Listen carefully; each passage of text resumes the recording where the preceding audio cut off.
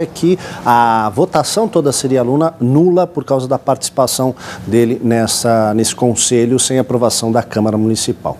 Olha, mesmo com a chuva, tem chovido aqui no Sudeste, a ordem é economizar água, viu? E os alunos do Senai criaram um dispositivo de plástico que, quando acoplado na torneira, diminui pela metade a vazão de água. A repórter Lilian Coelho está na Avenida Paulista, onde esses kits estão sendo distribuídos gratuitamente. Boa tarde, Lilian.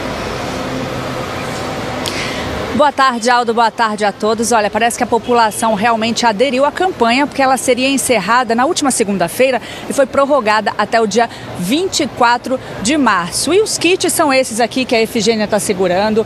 Cada kit, olha, tem quatro é, monitores aí para colocar nas torneiras, quatro dispositivos, e a meta é distribuir um milhão desses kits para colocar, portanto, em 4 milhões de torneiras. E o objetivo é justamente reduzir a vazão de água em 50%, como a gente está vendo aí uma medida simples que diminui o desperdício e também a conta no final do mês. A forma de colocar esses kits que também estão explicadas aí. O jeito de explicar é muito fácil, está aí no panfleto e é super simples de colocar.